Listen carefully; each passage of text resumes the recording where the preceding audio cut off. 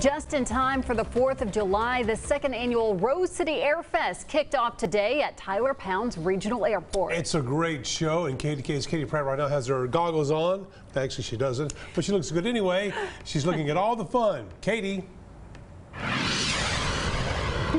Neil Casey, lots of fun is happening out here at the annual Rose City Air Fest, and it's all about America and celebrating East Texas veterans.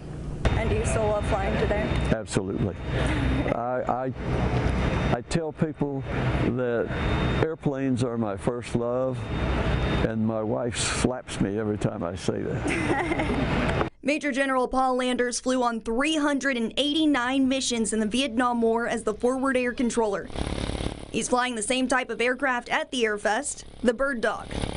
It was used for surveillance. It was used for marking targets on the ground for all of the all of the bombers and all the fighter jets up high. It was also uh, used to mark areas on the ground to where all of the artil artillery up high would uh, fire down on the ground, get rid of the enemy, and bring out the good people. East Texans were meeting war veterans, watching the flight crews, and celebrating the red, white, and blue ahead of the holiday weekend.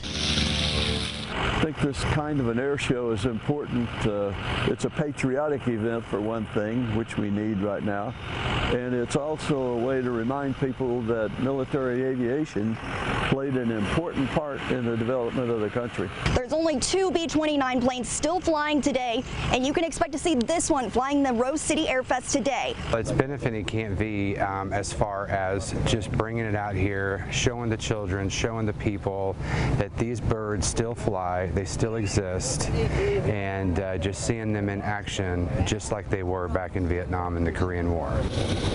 All ticket sales directly benefit the Veteran Resource Center Camp V. All right, these airplanes are about to take off any moment, but there is still plenty of time to stop by and plenty of fun to be had. So I'm going to go ahead and send it back to y'all. But I'm reporting live in Tyler, Katie Pratt, KETK News.